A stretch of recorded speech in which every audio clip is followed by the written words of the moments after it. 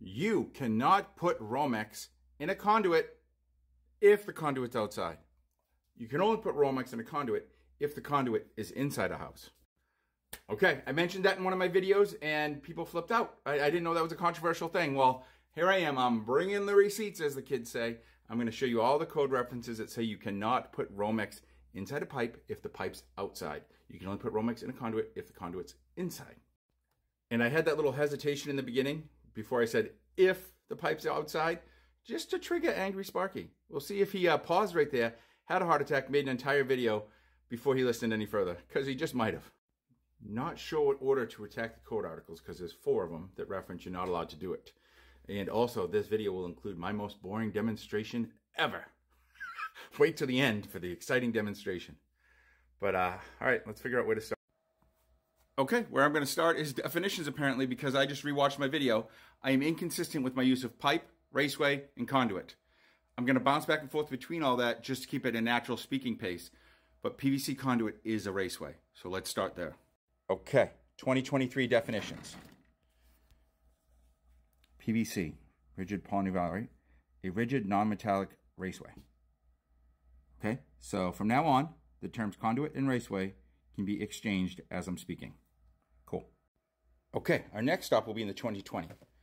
And in the 2020, 300.9 says raceways in wet locations above grades. Raceways, right, you guys can read. I, I can never read out loud when I'm holding my phone. But what that says is, where it's highlighted, the interior of these raceways shall be considered a wet location. So if the raceway is a wet location, the inside of the raceway is a wet location. And this 31010C, we'll get to that in a minute, but cool. That same wording is in the 2023. This is 2023. Same wordings in 2023. And like I've said in other videos, if your claim is that's a new rule, I am oddly equipped to discuss when that became a new rule.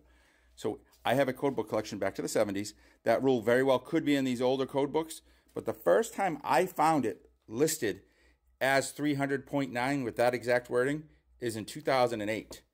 In 2008, 300.9 says it right here. Wet location. If the pipe isn't, if the conduit is installed in a wet location, inside that conduit is also considered a wet location. Okay, we're in the 2020 now and this might be where some of the confusion comes from. The article is for NM and NMC. We don't have, we don't use NMC in houses. Nowadays we use NMB. NMC was a type of NM that could get wet, but I'll talk about this a little bit more later. It basically got unpopular from what I've been told and now has been replaced by UF. So I don't even know if you can still get this, but people just nowadays use UF in the situations where they used to use this. So we're looking at NMB, NM, right? So uses not permitted, type NM, wet locations, see, NMB, wet locations. So 334.12B4, you cannot use NM in wet locations. And I can't show you that in my 23 code because I've already worn out my NM page and it's gone. It fell out of the book. So this is NFPA link, which is what I use for my 23 code normally. It's the same wording as 20. Nothing's changed.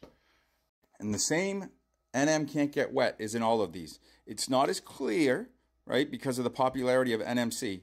But even in my 1947 code book, it says NM has to be installed in normally dry locations or can't be exposed to excessive moisture or dampness. But it's not quite as clear as don't do it. Because like I said, NMC was popular back in the day. Most people seem to believe, and this may be a factor, that if you strip it off and get rid of the paper, that it can go in a conduit.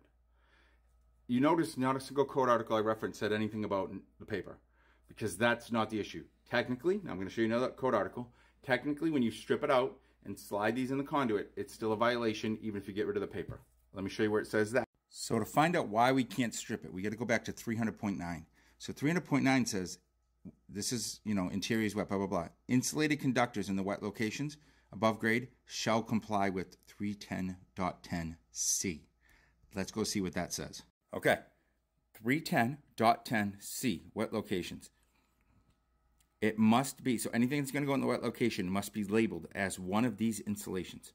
you must be have that labeling on it. See all the different types of insulation? So now, when you buy a spool of wire, I don't think I'm going to be able to show you this on camera. See the lettering? That lettering on it is where you'll find the THWN saying this can go in a wet location.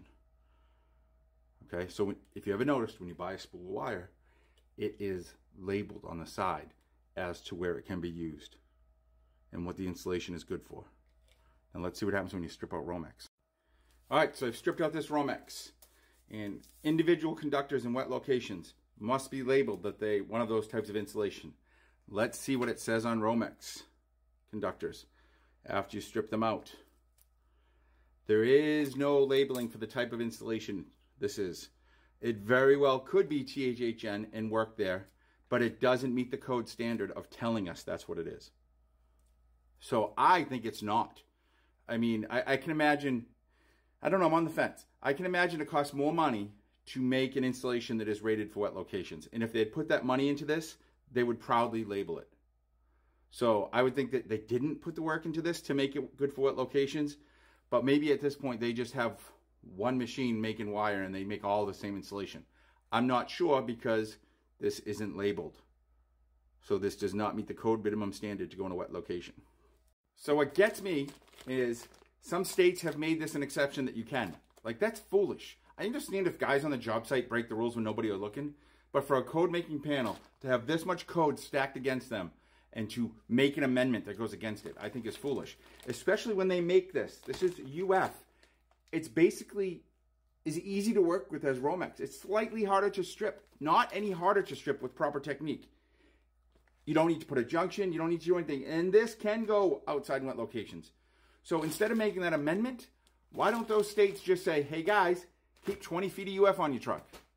And you can either put a junction and transition over to the UF, or because it's basically the same cost, it's pennies difference, run this back to the panel on the circuits you know they're going to go outside and up or something like that.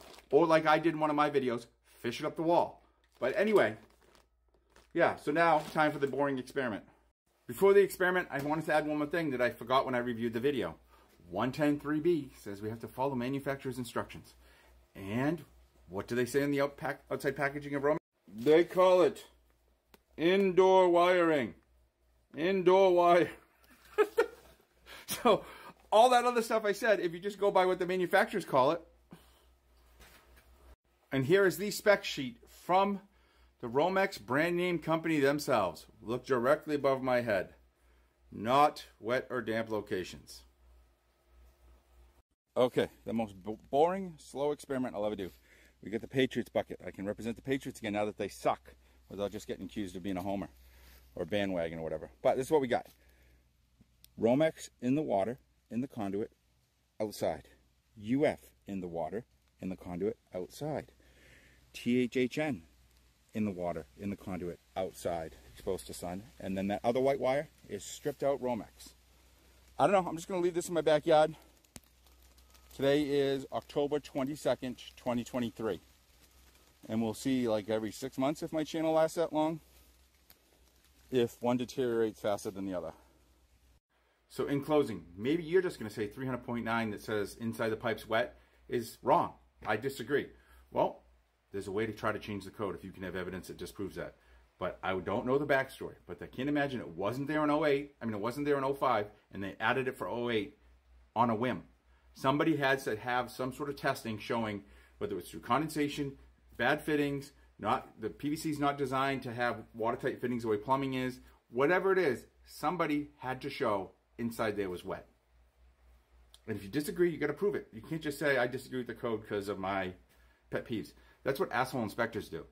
Okay? If we can't blame the asshole inspectors for enforcing their pet peeves, then we can't be asshole contractors ignoring rules that are our pet peeves.